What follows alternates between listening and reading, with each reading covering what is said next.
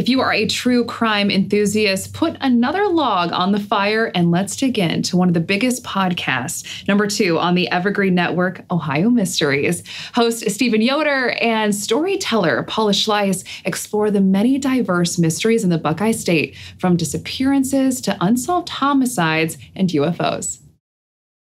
Paula, hello. You and Stephen have close to 200 full episodes, almost 400 episodes of Ohio Mysteries. I mean, why this podcast focused on mysteries in Ohio?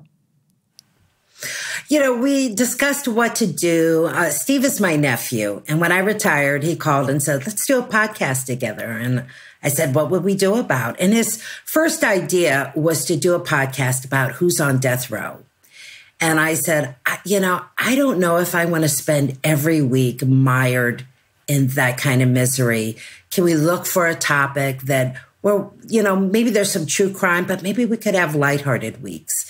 And so we came across the idea of mysteries in Ohio because we do a lot of true crime, but we also do buried treasures and UFOs and, and Bigfoot and, you know, strange phenomenon. And we also get to do a lot of historical stories. I love Ohio history and American history. And we get to go back and do a lot of those things. So Ohio Mysteries was a broad enough topic that we didn't think we'd get tired of it. Now, I absolutely love Ohio. And of course, that's where Evergreen's flagship location is. So I think that was one of the reasons that we wanted to spotlight you. Paula, you also mentioned a very rigorous schedule of recording. Can you share with our listeners that schedule? We, this month, we are four years old and we have been producing a podcast episode every Wednesday and Saturday at uh, 8 p.m. So that's two episodes a week. The Wednesday, we call a 10 minute mystery. They're usually between 10 and 20 minutes. And um, the full episodes on Sunday last usually about a half hour. And we have produced almost, we're approaching 400 total episodes. Amazing. 200 of the full, but when you throw in the 10 minute mysteries, almost 400. It's amazing. And I think you really have to like the person that you're speaking with that often, you know, but luckily it's, it's family for you. It is. We love doing it. Now, what is the research like for your shows? Can you describe that, like your process possibly of the, of the podcast? Yeah the great, great majority uh, is just uh, information that I can find on the internet. So I have a card to like every major library in Ohio. And I know a lot, you know, archive.org and a lot of cool sites on the internet that have databases. And my research comes from that, newspapers.com. Um, so I don't do any original research. We don't call and interview anybody on these cases or would never be able to produce two a week. The exception is we collaborate with the Akron Beacon Journal and about every six weeks we do a series that's called Unresolved and it's murders and disappearances in the greater Akron area. And that one we always interview a detective or two and we always interview at least one or more family members. And we have done, I think, 11 of those episodes. We just finished interviewing some detectives. We've got the next five lined up. And those are special. Those we get to really, you know, talk to people who are on the inside of those cases. And we, and we love doing those. Um, Paula, so you've worked in media and newspaper writing and whatnot. Can you maybe speak to how that's really helped your podcast live? You know, I think being a reporter for over 30 years has taught me a lot of compassion um, when you have the chance to interview and meet people from a wide diversity of experiences, of backgrounds. You come to really appreciate how to communicate with people, you know, on a, on many different levels. And I think even when we're not interviewing people, when I'm doing a story, I'm very cognizant of what we want to include. I want to make sure there's a every bit of information I can get, especially if it's like true crime about the victim. We really want to focus on that victim and make them a real person, not just a victim. You know, they, they're somebody that a lot of people loved one day, and we really want to bring that out. So I think my experience as a reporter has really affected how I handle, you know, writing those stories. I really respect that approach what speaking of the people that you cover, you know, maybe you can speak on a couple of your favorite interviews, your favorite episodes. Um, you know, it's really interesting. For uh, probably the first year or so, we didn't do any ghost stories because I thought, I, you know, I, I kind of believe in ghosts. I'm not yeah. afraid to say that. Yeah. But I, they're not tangible. So it's like I can't interview them, you know, or tell you what they're really doing. So we just avoided them. I wanted factual stories. And people kept, it's like the most popular top request that we get. So um, we started looking for, you know, are there ghost stories that we can do where we can get to the real history behind it? So if we can't, interview a ghost or tell you, you know, really what's going on with a ghost. We can at least tell you, here's a real person that this is based on.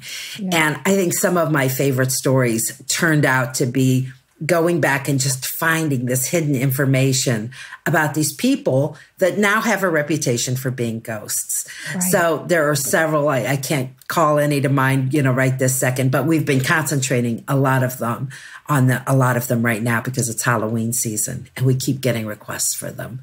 So. What would you tell someone, Paula, who has never listened to podcasts? What would you tell them?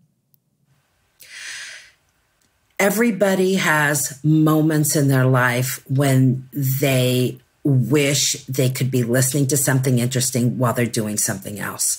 Podcasts are fun because you can listen to them while you're running or hiking. You can listen to them while you're doing dishes, you know, cleaning, gardening. And it, it's a great way to kill a, a, chore or a time when maybe you wanted to go faster. Um, so if you haven't done podcasts, you're really missing out on something that can enrich your life. And it's who doesn't like to learn? You know, most podcasts, we do a lot of history of Ohio.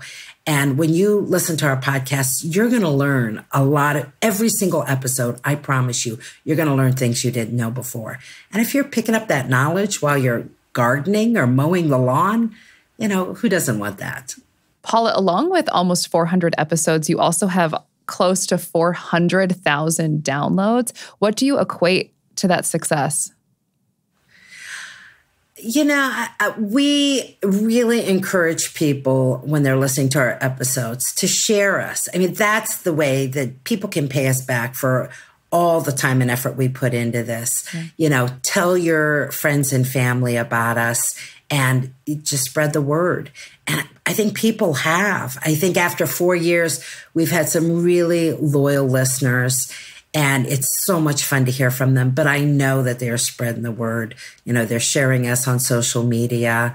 Um, and I, I think that's just, you know, if you get fans, they're going to help grow you. Mm-hmm. They're going to help grow you it's always a good, you know, call to action, so to speak, you know, always giving your listeners and your audience something to an action to do whenever they're listening.